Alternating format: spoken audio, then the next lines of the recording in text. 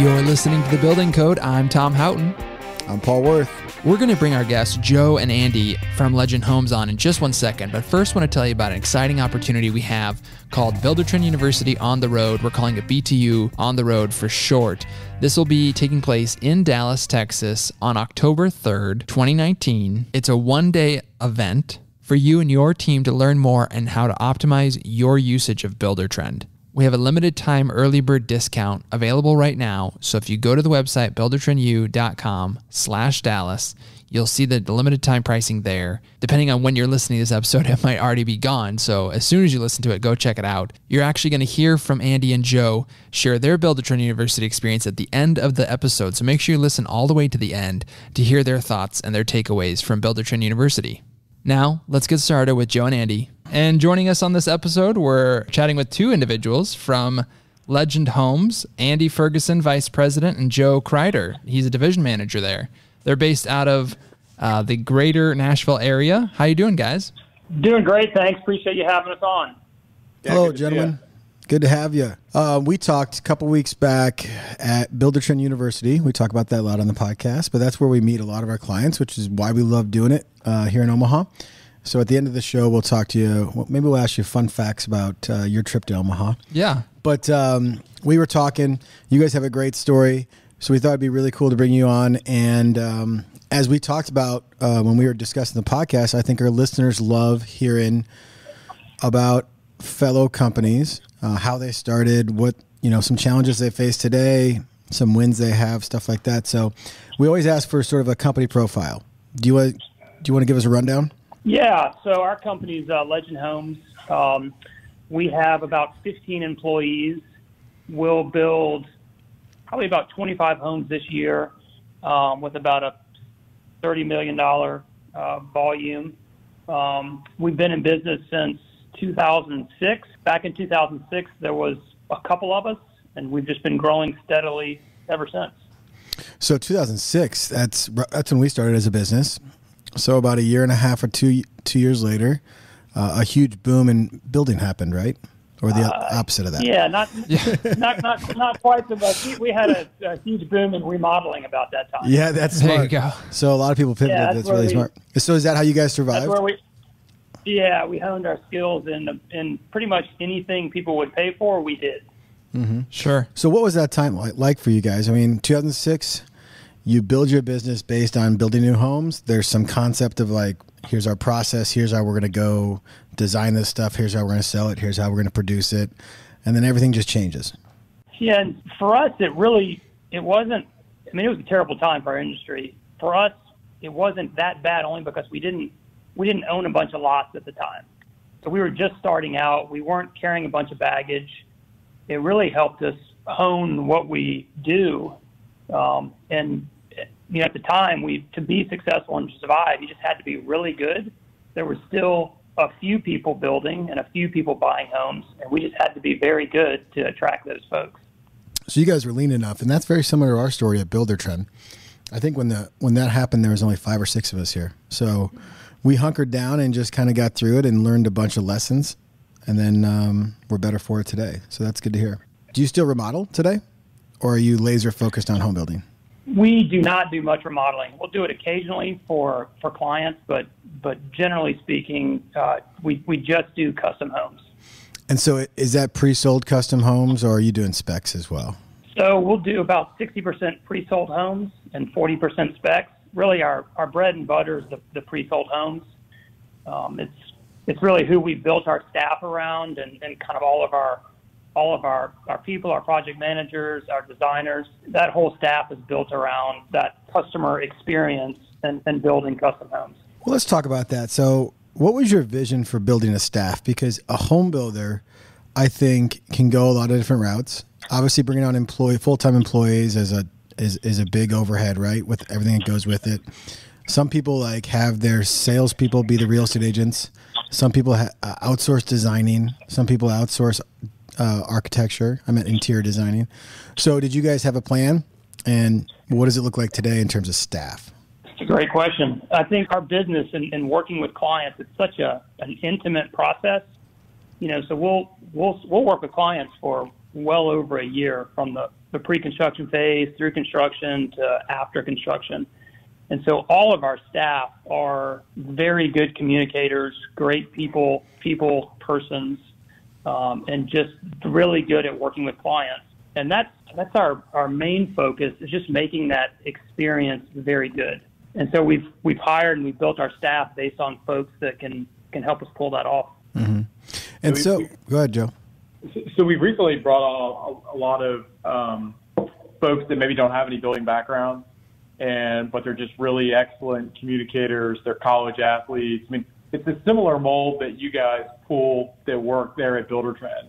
You know, it's the same people that have the intangible skills that you can't teach because, you know, what we do every day is, is pretty easily taught. Takes a little bit of time, um, but you know, those the, the communication is really probably the hardest thing that we do on on any day.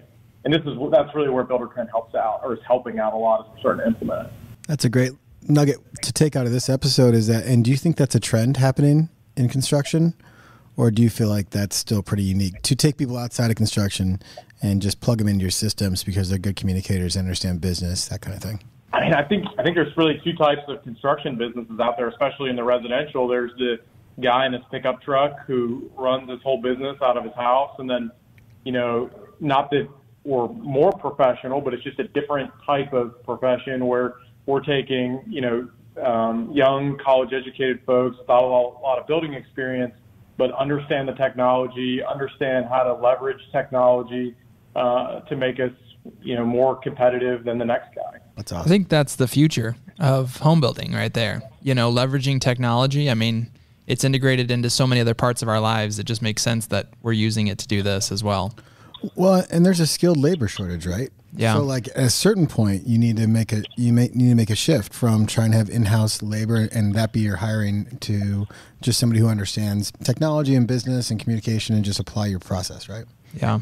I love your tagline on your website. It says building a luxury home should be a luxury experience. I like Ooh. that because it, it that right isn't that good? That's good? good. That's well done, guys. We'll yeah. put, we'll make sure we put yeah. a link to your uh, website in the show notes page uh, yeah. so other people can check it out. But where'd you get the tagline? The tagline. Yeah. Oh, the tagline. Yeah, I think it really comes back to just what we what we do every day in terms of just making it a making it a great experience.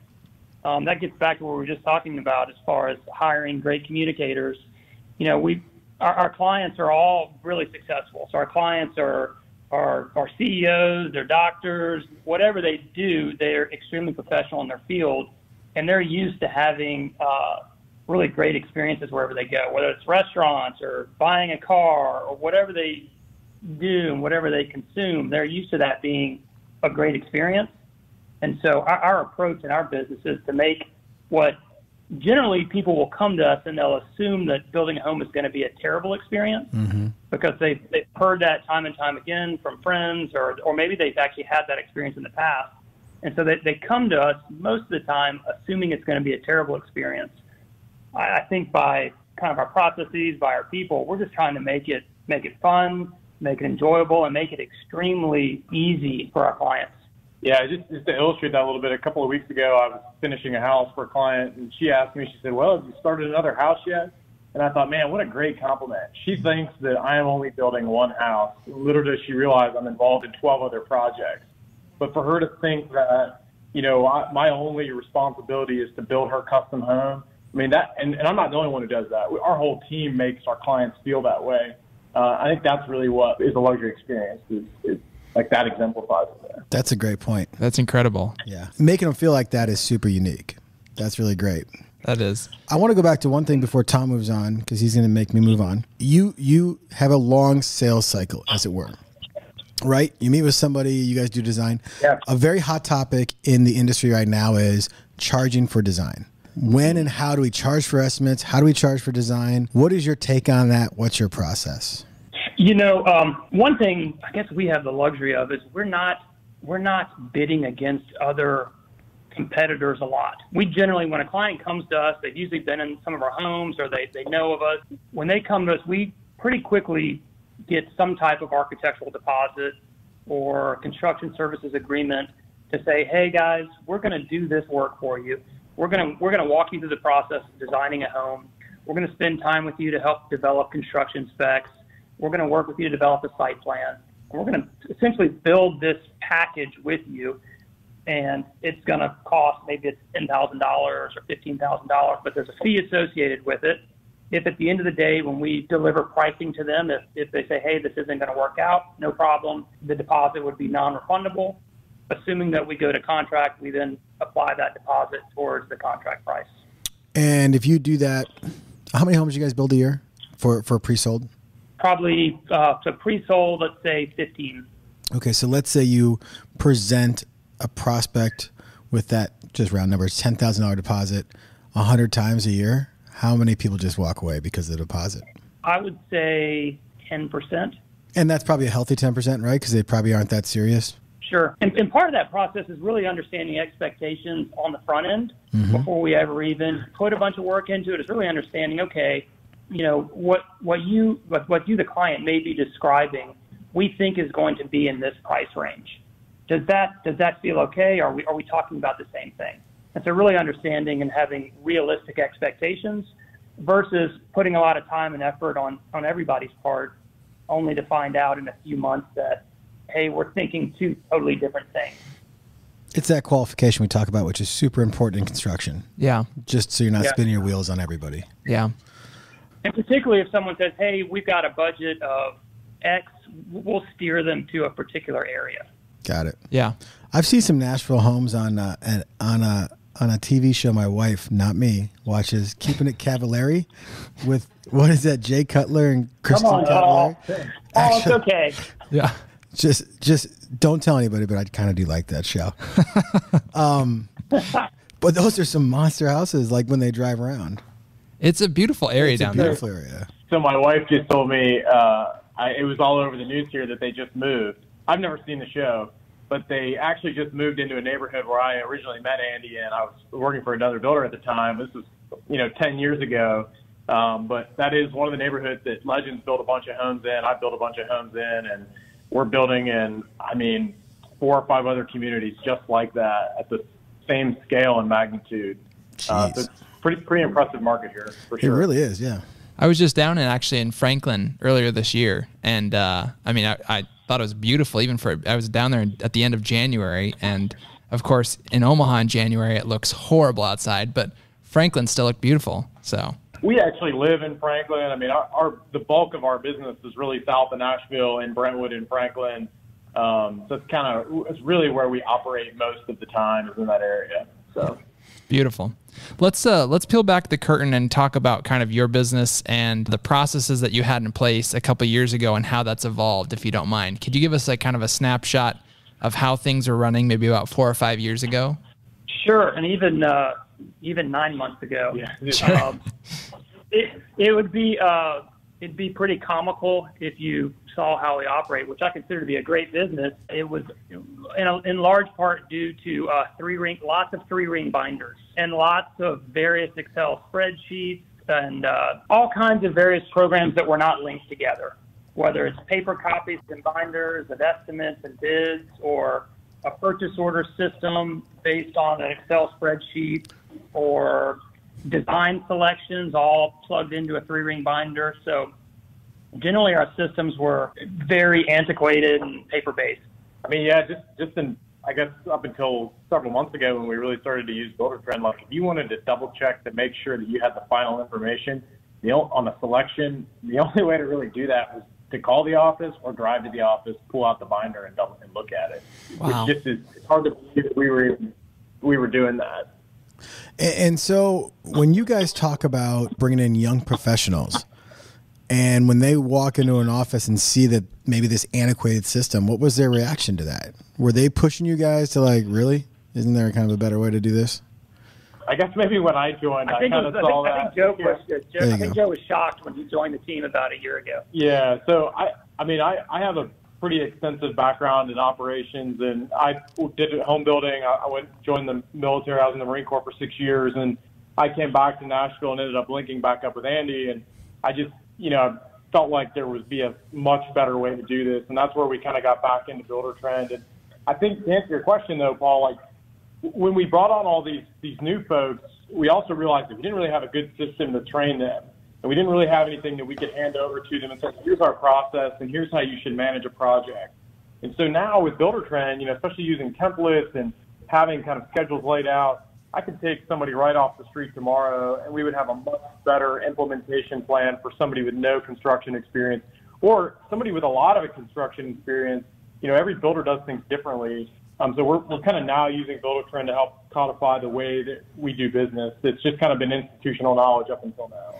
That's a big benefit that we probably don't do a good job of speaking to in our sales process just because there's so much we're trying to cover. But I think it's something people realize is that, you know, instead of Andy having to like, or Joe, you having to like just kind of like download out of your head for four months, this is how we do this, this is how we do this. It's just like everything's done in here and it's labeled change orders right? And there's a manual and there's like a video, so check it out.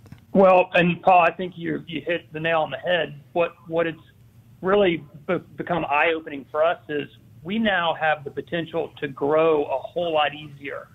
And so, you know, back doing this older system that we've been doing, it was almost like additional growth just seemed impossible because it would involve teaching new people this very cumbersome these very cumbersome processes that it, it, looked to be like we just had maxed out our growth. Mm-hmm. Uh, and once we've changed, it's been very eye opening as we start to implement various parts and pieces of Buildertrend to see that growth is going to be easy at this point. That's awesome. Yeah, producer Brooke just showed us a photo. I don't know if you guys are okay with us sharing this on the show notes, but there's a photo of a whole bunch of binders. I think maybe you guys yeah, see it. Yeah. so yeah. we'll post that on the show notes if you guys are okay with it. We'll caption that before building. It's okay. We're, we're Yeah. embarrassed, but yeah, you can show it. yeah. Well- Well, I think I think a lot of people will relate to it. The reality is, is that today, eighty percent of the market is still there. Yeah. And Yeah. I, you know what we always preach to people is like we're not here to judge. We're not here to be somebody who says you're doing something wrong, or even that your systems are antiquated. The the, the adjective I was thinking about is like they're just they're customized to how you guys do things, and it's hard to teach Yeah. somebody like your custom workflow and like your the way you guys do it. And everybody can get better. Our company can get better every day. So it's starting to become very obvious to building Yeah. construction companies like there is a better way to do this. It doesn't take that much. It doesn't cost that much, and like your savings are out of the window or crazy. It's, That was a bad Maybe not out of the window. out of the window, Well- Mm, out of control, out of control. out there. I don't know. VP of sales, everybody. Yeah. I mean, the, the cool thing is, if, if you do look at the photo of all the various notebooks, you know, we're not really doing anything different when we're operating out of Buildertrend. W- We're still we're still using a PO system. We're still categorizing all of our selections. We're still scheduling. We were just doing it in a much different way with 15 different systems. We're now able to just put it all into one program. Um, Yeah, I, I think one thing about Builder Trend when we first started is, you know, you, you guys have selections and, and all these really awesome tabs. I, my first kind of thought was, okay, this is how they intend for this to work and that to work. But after going to BTU, what I really realized was it's really adaptable to the way that you run your business. And there's no, you guys don't have a, or I said, you guys, Builder Trend doesn't have a specific workflow that you have to follow to be able to use the system. Whatever workflow that you develop uh, is, is really how you should use Buildertrend. And, and I think that's not, you don't really know that until you get in there and start using it. Yeah, that's a great point, Joe. And quite honestly, it's an internal struggle we've had for a long time of do we create the workflow and make a new company change their workflow and like this is the way we do it? Or do we keep it super flexible and know that if we don't talk to them and explain that it's super flexible, we might lose some people there. So it, it is an internal struggle Yeah. for us to always think about like what is the right way. I don't think there is a right way because there's advantages to both. Um, some people do come to us for our consultative. Hey, you guys obviously know what you're doing because you work with 15,000 companies like me, and we you've been doing it for 13 years. So you tell me how to run selections. And there's other people who come to us and go, "Hey, we're comfortable with our process. Just just adapt that process to your software because everybody here knows how to do selections our way." I mean, it, it seems like the system now works for either path. Um, Right. True enough. Yeah. I think the thing for us too is, you know, we built some really detailed customs, and then we also built some spec homes that are at a lower price point that don't have as much that changes to them. And so we, we almost need like different processes for different projects because the client has an input in, in how well the project can run. And, you know, we, we really need a framework, not an absolute system. We're, we're not a production builder. We, we can't build the exact same way every single time. And so for a company like us, Builder Trend does give us a lot of flexibility. And then, you know, I think too, having met our coach, um, and he has really helped us say, here's some other clients. This is how they do it. Um, and he's given us some really good ideas of how we could, you know, kind of update a process or make a process better by using Builder Trend. That's great. Should we give our coach a plug? Yeah, who is Yeah. it? Can we give our Griffin Griffin Gum? Oh, Griffin. You know, you probably like him because he's from the the southeast as well. We did. We, we Yeah. really related. Uh, He- think I don't know. I think he's from South Carolina? worked the building. I think so. He he he married North Carolina. North Carolina. Yeah, he married into Omaha. I'm sure that's probably still a, a point of contention in their marriage after Probably. the winter after the winter we just had. Yeah. Uh, but he's a great guy, so I'm glad. Yeah, give him a shout out. I had two things there though. So like the one misconception is templates are for are, are for production builders. The reality is is that templates just save you time because they're a framework, as you said, Joe, for the next home. Even though that home might be wildly different in the schedule or the actual selections or the actual details of the purchase order, you're still going to need framing, and framing's still going to need to come before drywall, right? Yeah, and I mean that's a great point because we when we first started, we built this really detailed schedule and then we created a template. Well, we got to the next job and we had some unexpected delay and it just got so cumbersome. We deleted the schedule and started over. So what we made then was a 10 or 15 activity schedule. And then that is our template that every job follows. Just like you said, you know, framing comes before insulation, insulation comes before drywall. And then we use the schedule as the, the project manager in the field update. You know, we I sit down, we review two week schedules, we solidify what's happening for two two to four weeks, and then that's where we really get in and manipulate the system and make it work for the individual project. Yeah, that's great advice because I think there is some misconception there, and so that's uh, another good nugget from this one for everybody. Tom's probably going to make me have to stay on schedule. What's next, Tom? No, it's, this is all good. And I was thinking, like from from an outside perspective, I think a lot of clients will relate to where you guys were at, which was you were using the software, but you weren't leveraging it to its maximum capabilities. So, what was the changing point for you guys that said we've got to do something? And then, I guess now, if you can fast forward, so this is a two part question. Sorry, but tell us, you know, what was the crux of you saying we got to make a change and leverage this more? And then where are you at now? Well, I so I mean a lot of it just kind of came about when I when I started. I think when they handed me a here's here's how we do our schedules, and it was a paper schedule, and here's where all your selections are, and it was a binder this thick full of printed copies that had multiple stamped finals on it. And I had no idea what I was supposed to be doing in the field. We just realized that you know there's there's got to be another way to do this, and there has to be a technology to do it. And we, we did have um, an account. We were using CoConstruct, and one of the one of the downsides was is that it wasn't functional from a mobile phone. And so I would say of the 15 people that are in our company, four or five are at the office every day, and the rest of us, myself included, come to the office maybe once a week um, because we can all do we do everything you know remotely. And so for for Builder Trend, when when we kind of re-signed back up, it was really about the functionality of the mobile app. You know, if, I, if I'm going to ask or we're going to ask our team to do stuff and update it on a day-to-day basis from the field, they have to be able to do it from the iPhone. Mm-hmm. You know, to tell them to go back at night and pull out the computer and do all that stuff, it's just, you know, now you might as well just do paper. You're, mm-hmm. It's just as difficult. Yeah. That makes sense. So, how do you guys approach? How did you approach onboarding and then like teaching all of your people? Did you guys? Did you two take the lead and sort of like this is how Buildertrend works? Let me explain it to my guys and, and gals, or did you get everybody in a room and learn together? I think we started. I'll back up one thing. I, I think the other thing to, to dovetail on what Joe said is we also sat down, maybe it was nine months ago, and just talked about what were the bottlenecks in our company. Mm-hmm. And and as just as an overall theme was, you know, the, the building of the house, the actual physical construction really isn't that difficult.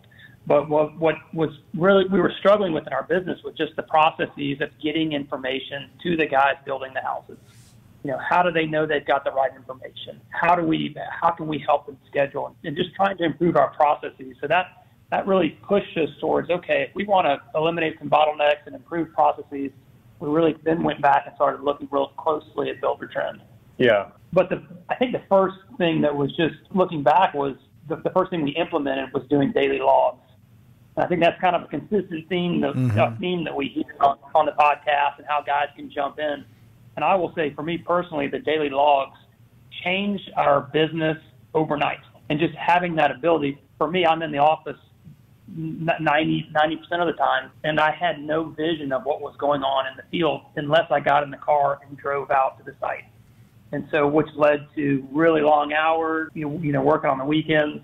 And all of a sudden, with the guys doing daily logs, it really transformed the business. And all of a sudden, we had a tool to communicate from everybody in the field to everybody in the office.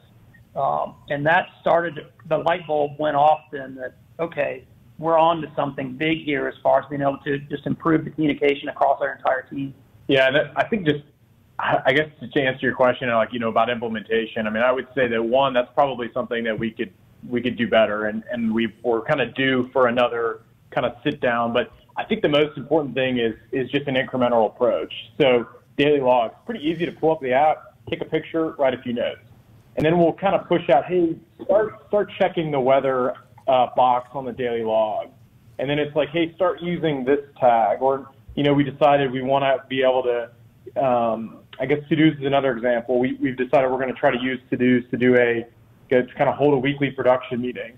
And some of it we're just kind of figuring out as we go. And then when we feel like we've got a process that works, we're kind of sitting down, you know, with whoever it most impacts, because the folks that are issuing the POs aren't the same folks that are building the schedule. We don't, we haven't really spent as much time, you know, showing them all the, the process to build a PO. Right. There's like a concept of you don't have to teach everybody everything. There's there's like a role based concept of rolling out software and especially Buildertrend, right? Like get the people in there who need to know POs. Your guy in the field maybe doesn't need to do that unless he issues POs in the field or bills. But like he doesn't have to know how to develop them if he just needs to have be able to go look at which ones they are or approve work done by the drywall guy, right? Yeah, and I mean I, I think the other thing too is like you just get a couple of things implemented, and all of a sudden everybody sees the value in it, and then they just quicker like, oh, this is really cool. Now I now I know where to go to find the information, and the the software is so intuitive that it doesn't take a lot of training. I mean, it's like watching my two year old pick up, you know, the phone and be able to, you know, stop and start his videos, you know, with, without ever having any training or really even know how to use it. Yeah. Yeah. That's awesome. Yeah, it's great for our UIUX team. They, they continue to work on that ease of use. I think they always talk about like if it's the first time you ever see it, we want it to be something you can do like two or three things with. Yeah.